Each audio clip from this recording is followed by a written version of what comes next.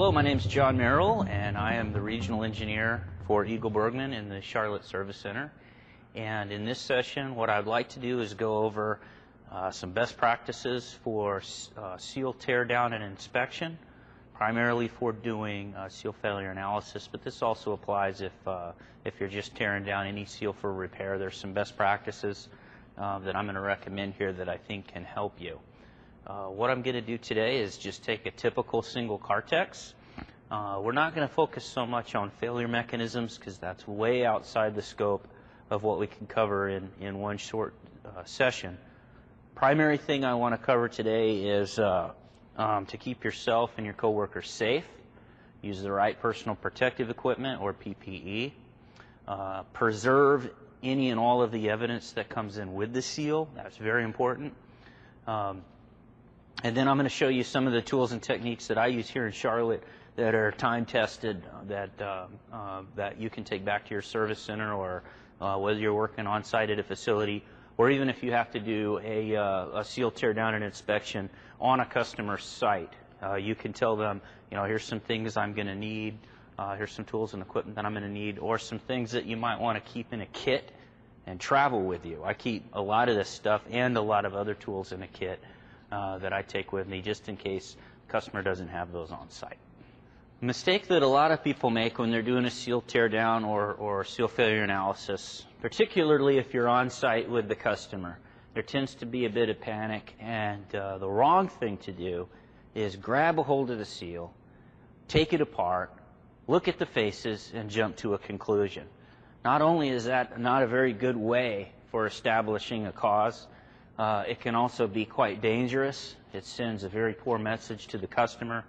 And uh, uh, so what I'm going to do is, is kind of go through some very basic steps that you really have to do with every single seal. Uh, a lot of what I teach is don't jump right into it. Start slow and build momentum. You will get done. Uh, you'll, you'll actually get done in less time if you follow some of these protocols because then you don't have to go back and backtrack. So, First two things.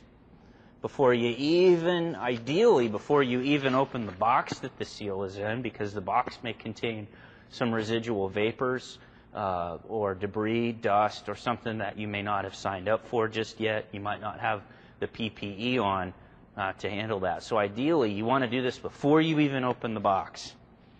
First thing, MSDS sheet. You have to know what the seal has been exposed to uh, before, before you know what personal protective equipment to use. And PPE is, is normally listed on, on all MSDS sheets.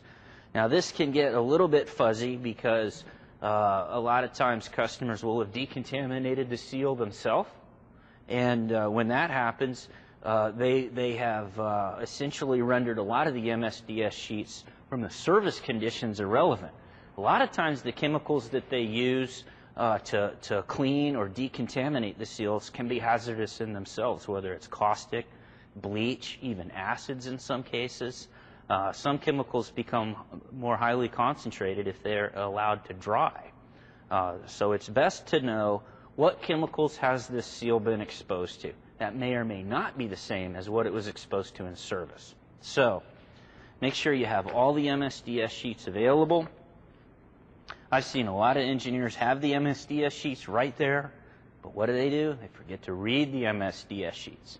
Now that doesn't mean you have to spend all your time, but you should at least be familiar with some of the key sections, the name of the chemical, um, and then it will list uh, hazards. It will also list personal, personal protective equipment, uh, PPE that you might need to handle that, uh, that, that chemical safely.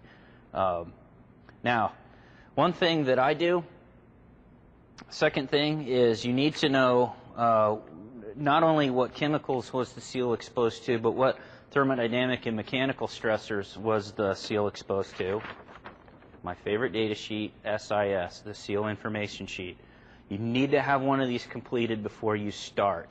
Uh, one, when you look at the SIS sheet, what's the first thing you need to do is are the chemicals and process fluids listed? Do you have all those MSDS sheets? Okay? If they don't match up, you might want to just stop everything and, and ask the customer, do I have the right seal? Uh, I have conflicting information and I don't want to start until I understand You know, did you send me the right seal? Is this the seal that we think it is? That sort of thing.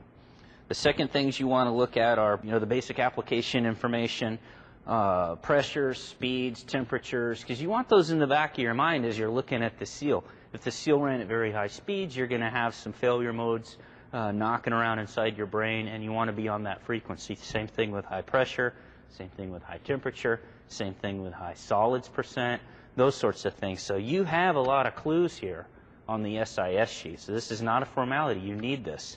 Uh, one thing that I like to ask my salespeople is not, not only should you send in the SIS sheet, but if we know it's a failure and the customer is asking for a failure analysis, on the SIS sheet, jot some notes about why is this seal here? Why was it removed from service? Did it fail? If so, tell me what you consider a failure to be, because everybody's definition is not, is, is not nearly the same. Uh, maybe it was pulled from service on a, on, on, a normal preventive maintenance schedule. It's been in, in service for two years, and the customer just wants to see if any upgrades or seal changes are required. Okay, so you need to understand what's the objective. Why is this seal here? What am I supposed to do with it? What is the objective? Uh, I encourage you to encourage your salespeople in your territory to add that to the SIS sheet so it's